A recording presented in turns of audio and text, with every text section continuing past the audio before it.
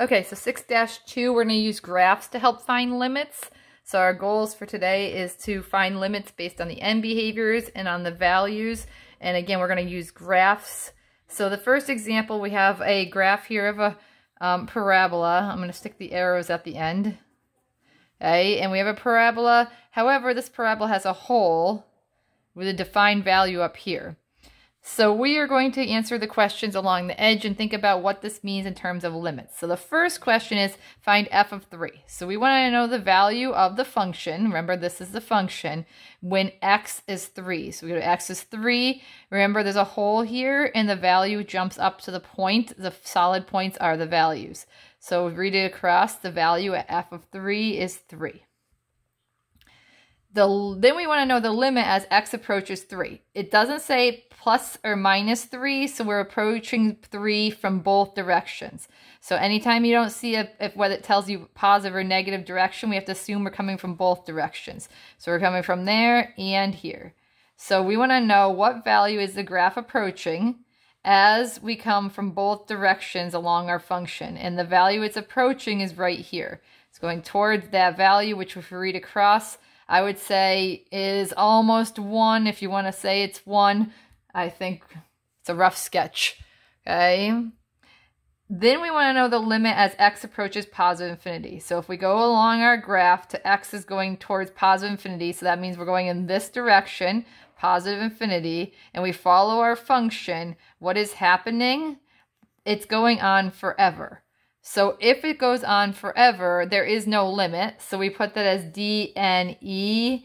DNE stands for does not exist. So there is no limit. It goes on forever. So anytime the limit, there is no limit to the graph, it goes on forever, DNE. So then we want us to know what the limit is as we go towards negative infinity. So negative infinity is moving this direction. So as we take our graph and we head in that direction towards the left, once again, the graph is going on forever. So we're going to say that this is no limit or does not exist. DNE. Okay, sorry about the noise there. So then if we move to the next example, example number two, this graph is a lot more complicated. You look at it, oh, there's curves here, there, there's holes, there's all kinds of things going on. So we're going to identify some terms.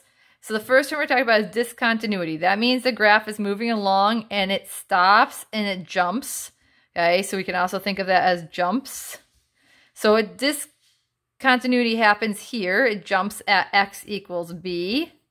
We're defining the, the, these are not numbers along our x-axis, they're letters, so we have to define it in terms of the letter. So x equals b. If we keep moving along and we move along here, the graph jumps again at x equals c. Okay. So those are where discontinuity happens. Where are the asymptotes? Remember, asymptotes are vertical or horizontal boundary lines that the graph approaches uh, that the graph approaches from both directions. So we have a a vertical asymptote at x equals, and this value is listed as a. Okay, so again, those are those boundary lines. The graph approaches from both directions. It approaches here and along here. Okay, and then it says any holes. So holes are openings in our graph. Otherwise, it'd be continuous, but there's a hole. So there's a hole at x equals 0. So those are the different terms we want to make sure we understand and what they mean. So asymptotes, the graph approaches from both directions. Discontinuity is when the graph jumps.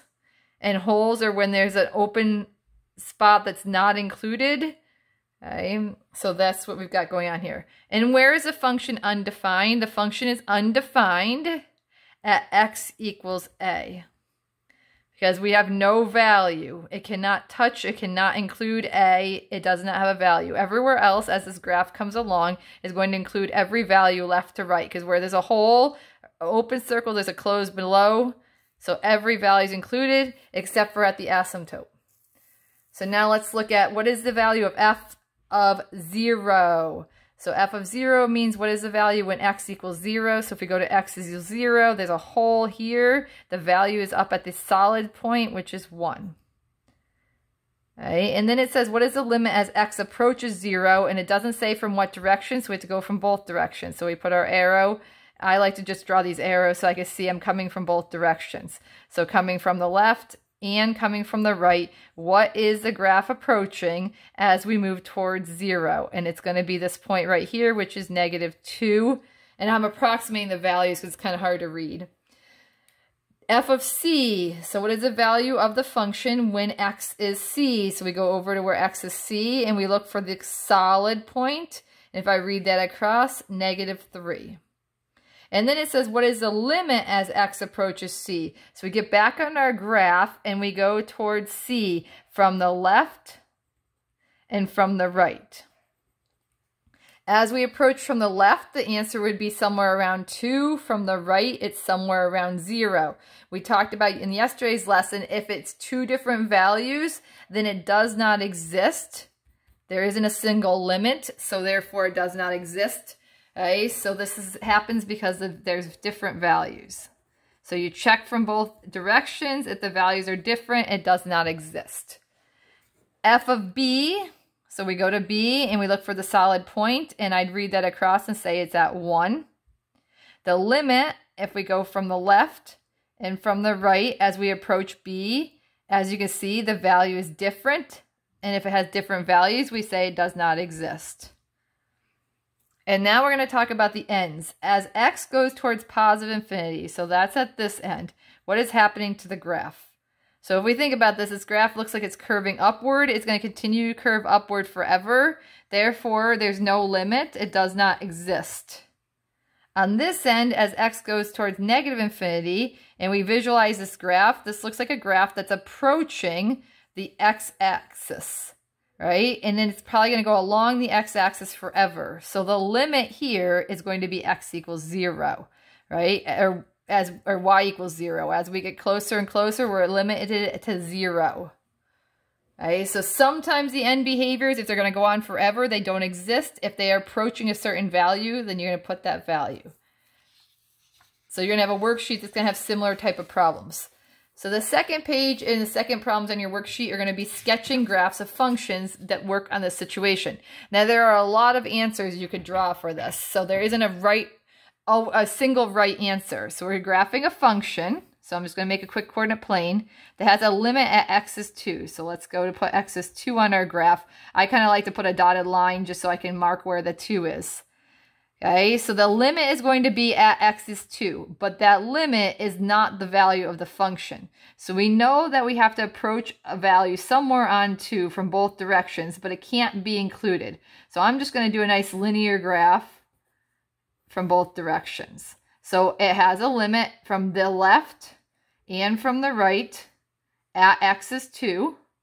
However, the value is not 2, so that means it has to be open circle.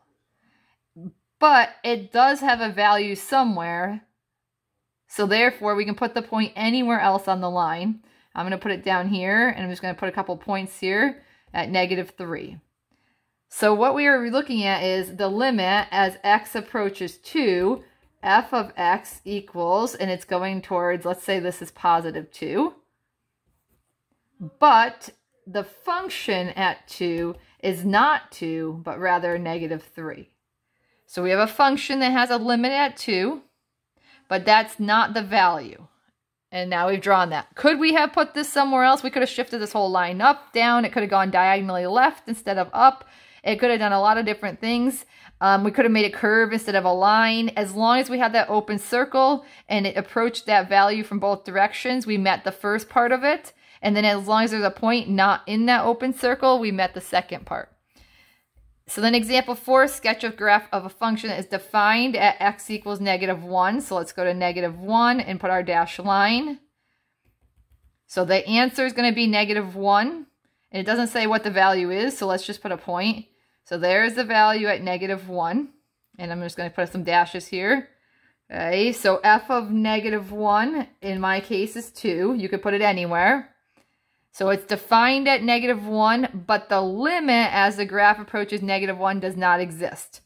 So the, when it does not exist, it means it, that when you come from the left, right, when we move from the left and then move from the right, However, we're coming along, they have to have different answers. So this would be a situation kind of like this. Coming from the left and coming from the right, the value is not the same. So therefore, the limit as x approaches negative 1, f of x would be does not exist because it has different values coming from different directions. So those are just one option out of many options to draw this.